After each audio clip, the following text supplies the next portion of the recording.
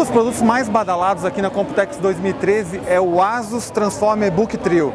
O produto recebeu inclusive elogios do vice-presidente da Intel durante o keynote inaugural de Haswell. Ele recebeu elogios justos porque é o primeiro produto híbrido no, no, Ultrabook híbrido que se transforma em dois produtos independentes.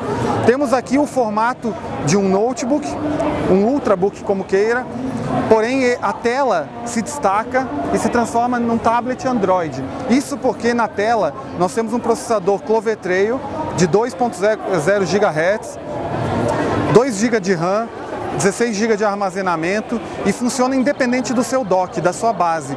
Já o dock pode ser plugado num televisor ou num monitor HDMI, se transformando no seu computador em casa.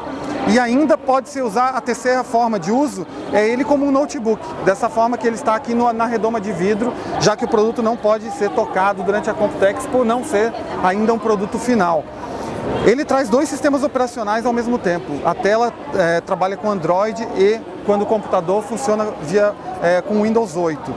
Dessa forma, temos um produto híbrido com três formas de uso e dois sistemas operacionais, que quando vier, vier para o mercado vai permitir que duas pessoas o utilizem ao mesmo tempo.